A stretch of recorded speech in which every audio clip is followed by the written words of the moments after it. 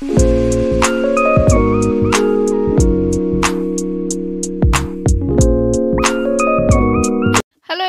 इस ड्रामा के part third में आप सभी का स्वागत है। मुआता सबसे पहले यहाँ पर हम टीम को देखते हैं, जो कि आज फिर से स्विमिंग क्लब को अवॉइड करता है और वहाँ पे जाता भी नहीं है। तभी उसके फ्रेंड कहते हैं कि, भाई, तुझे आजकल हुआ क्या है? कहीं तुम वो अवॉइड कर देता है।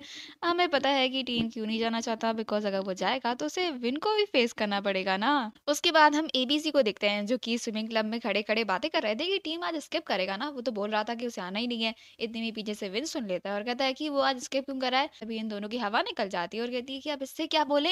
ये तो वैसे भी हम सब का बॉस है। हमें कच्चा खा जाएगा अगर हम बताएँगे कि टीम तो ऐसे ही नहीं आ रहा। तभी यहाँ पर डीन और टूलियो से बात के लिए कन्फर्ट करते हैं। वो कुछ ज़्यादा ही परेशान नहीं है टीम के लिए। तभी विन इस बात के लिए मना करता है और कहता है कि उसे फ़र्क नहीं पड़ता। यहाँ पर वो फिर से चुप हो जाता है।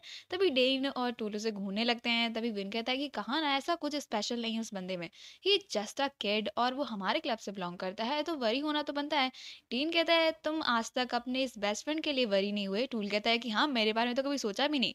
तभी यहाँ पर विन कहता है, तुम सोचने लायक भी नहीं हो। अपने काम से काम रखो। इसके बाद टीम अपने अपार्टमेंट में जाने लगता है, तभी वो बिल्डिंग के बाहर विन को बैठा हुआ दिखता है। इसके बाद वो जल्दी से वहाँ से ही भाग जाता है और कहता है कि उसे बस विन को कंफर्ट नहीं करना। आफ्टर दैट वो क्लास में जाके बैठ जाता है, क्योंकि उसे क्लब नहीं जाना और अपार्टमेंट जाएगा तो विन भी मिल ही जाएगा। इसके बाद वो क्लास में बैठता है, तभी उसके फ्रेंड कहते हैं कि, हुआ क्या? तुम विन से डर रहे हो ना? टीम कहता है कि, मैं विन से क्यों डरूँगा? वैसे भी ना ही तो मेरी मॉम है, ना ही मेरे डैड है। इसके बाद वो तीनों कहते हैं कि अच्छा चलो स्विमिंग क्लब में फिर हम यहाँ पर टीम को स्विमिंग क्लब में देखते हैं, जो कि विन के सामने खड़ा हुआ था।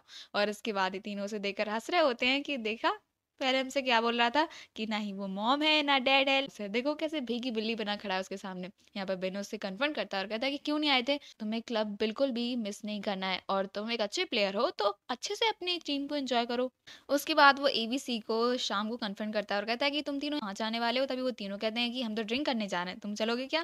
दरअसल टीम आज तक ऐसे कहीं जगह पे नहीं गया, लेकिन उसे विन को अवॉइड करना था। इसके बाद वो कहता है कि साथ चलूँगा। चारों बाहर जाते हैं और यहाँ पे बहुत सारी ड्रिंक कर लेते हैं। टीम अपना गुस्सा विन के लिए निकाल रहा होता है। भाई एबीसी कहते हैं कि तुम ठीक तो हो ना? उसके बाद ये चारों बाहर निकलते हैं तो बाहर विन टीम का वेट कर रहा होता है। इसके बाद ये तीनों जैसे ही विन को देखते हैं तो टीम को नीचे छोड़ देते हैं। बेचारा टीम नीचे गिर जाता है। और ये तीनों कहते हैं कि विन बॉस आप यहाँ पे क्या कर रहे हैं? आई एम सॉरी दरअसल हम यहाँ पे ड्रिंक करने आए थे, पक्का हम कल क्लब मिस नहीं करेंगे और इस ड्रिंक की वजह से हमारे क्लब कुछ होने भी नहीं वाला। लेकिन आफ्टर दैट वो टीम को नोटिस करते हैं जो कि बेचारा नीचे पड़ा हुआ था। इसके बाद वो चिल्लाने लगते हैं और कहते हैं कि सॉरी बॉस इसके बाद विन आता है टीम को उठाता है। कहता है कि इट्स ओके अब इसे मेरे हवाले कर दो। मैं इसे उसके अपार्टमेंट तक ले जाऊँगा। तभी वो तीनों कहते हैं कि आर यू श्योर विन कहता है कि सुपर श्योर उसके बाद वो टीम को अपनी बाइक पर बैठने के लिए बोलता है। तभी टीम कहता है कि, वो नहीं जाएगा। तभी विन कहता है कि, जल्दी से बैठ जाओ। और इसके बाद टीम बैठ जाता है बिकॉज़ अब वो जाएगा कैसे? बिकॉज़ एबीसी को तो विन ने वैसे ही भगा दिया है। इसके बाद उसे विन के साथ घर जाना ही पड़ता है। विन उसे उसके रूम तक लेकर जाता है। यहाँ पर वो टीम को सुला देता है, पर अचानक से टीम को कुछ अजीब से सपने आने लगते हैं। इसके बाद वो शेक करने लगता है, तभी यहाँ पर विन उसे हक करता है और उसे कंसोल करता है। और इसके बाद काफ़ी वरी भी होता है कि इसे हुआ क्या? अक्सर टीम को ऐसे दौरे आते हैं और पैनिक करने लगता है। लेकिन हम विन को देखें जो कि सुपर वरी होता है कि आखिर टीम को हुआ क्या? यहाँ पर हम टीम के कुछ फ्लैशबैक देखते हैं जिसमें हम उसके भाई को देखते हैं, जिसके बाद उस स्विमिंग क्लब में एंटर कर जाते हैं और अचानक से कोई डूबने लगता है, पर क्लियर फ्लैशबैक नहीं दिखाया जाता।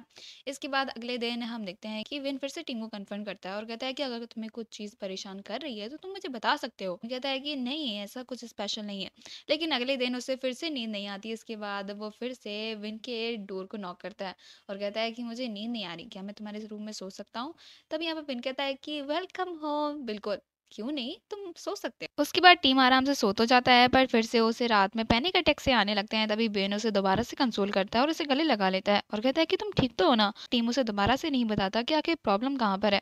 इसके बाद ये दोनों सुबह उठते हैं, वेन अपने हाथों से टीम के लिए ब्रेकफास्ट तैयार करता है। उसके बाद ये दोनों यूनिवर्सिटी के लिए तैयार होने लगते हैं। टीम अपने रूम में भी नहीं जाती टीम की टाई लगाने में हेल्प करता है और कहता है कि तुम्हें टाई लगाना भी नहीं आता। तभी यहाँ पर टीम कहता है कि दरअसल हमेशा पाम मेरी हेल्प करता है। इसीलिए मैंने कभी ज़रूरी नहीं समझा। इसके बाद यहाँ पर विन उसकी हेल्प करता है, आफ्टर दैट उसे एक छोटी सी किस देकर वहाँ से चला जाता है। जब विन वहाँ से चला जाता है, तब टीम उसके बाद ब्लश करता है और कहता है कि वैसे ही सो कूल। उसके बाद हम विन को देखते हैं जो कि अपने घर पर विज़िट करने के लिए जाते हैं। हमें पता चलता है कि विन काफ़ी अमीर है और उसका एक छोटा भाई उसे मिलता है जो कि उसे देखकर काफ़ी ज़्यादा खुश था। यहाँ पर वो दोनों बातें करते हैं। यहाँ पर उसका छोटा भाई उसे बताता है कि उसकी गर्लफ्रेंड है। तभी यहाँ पर विन कहता है कि रियली? तभी वो बताता है कि हाँ वो मुझे ना बहुत अच्छी लगती है, मैं उसे बहुत पसंद करता हूँ। इसीलिए मुझे हमेशा इस जानने की क्यूरियोसिटी रहती है कि आखिर वो क्या पसंद करती है, उसे किस टाइम पर क्या खाना पसंद है, उसकी हॉबीज़ क्या हैं। सो so, ये कुछ स्पेशल हो जाता है जो कि हम एक-दूसरे के बारे में जानना चाहते हैं।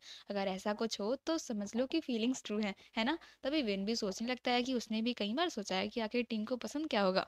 उसे भी धीरे-धीरे पता लगने लगा था कि टीम बहुत ही ज़्यादा भुक्कड़ है, वो बहुत सारे स्नैक्स खाता है। उसके बाद अगले दिन भी टीम विन के रूम में ही सोने के लिए आता है। यहाँ पर विन भी उसे रोकता नहीं है बिकॉज़ वो दोनों एक दूसरी कंपनी इंजॉय कर रहे थे। इसके बाद ये दोनों फिर से ब्रेकफ़ास्ट करने के लिए उठते हैं। यहाँ पर विन फिर से ब्रेकफ़ास्ट तैयार करता है।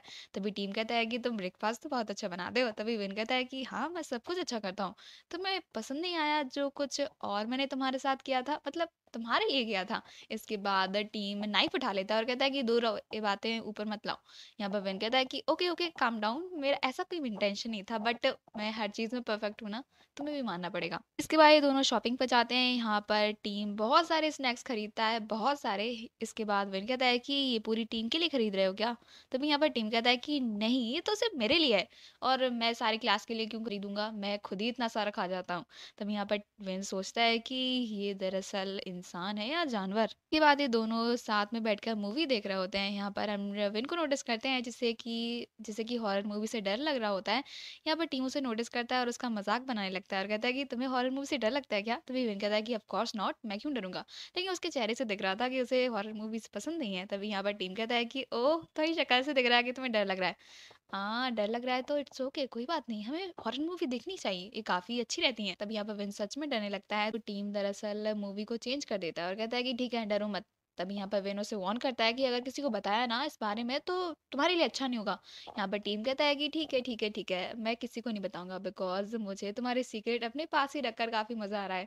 आखिर मुझे पता तो चल गया कि तुम्हें किसी चीज़ से डर भी लगता है, वो भी हॉरर मूवी से। उसके बाद अगले दिन टीम और विन विन की बाइक से दरअसल यूनिवर्सिटी जाते हैं। यहाँ पर टूल फिर से इन दोनों को नोटिस कर लेता है और कहता है कि विन मैंने क्या देखा, आज तुम्हारी बाइक पर कोई है?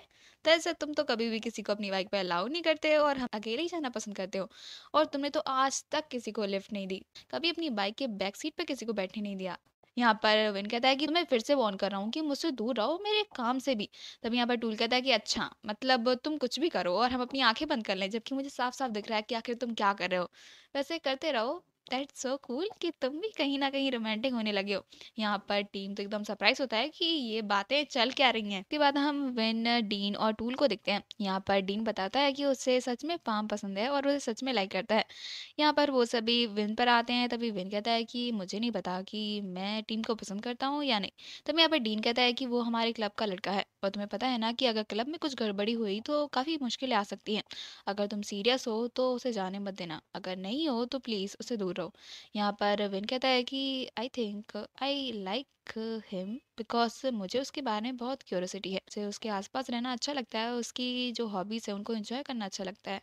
So I think I do. तभी यहाँ पर डीन कहता है कि अच्छी बात है, कम से कम तुम कुछ फ़ील तो करते हो। सो so, इसी के साथ हमारा ये पार्ट पे खत्म हो जाता है। Thank you so much guys watching.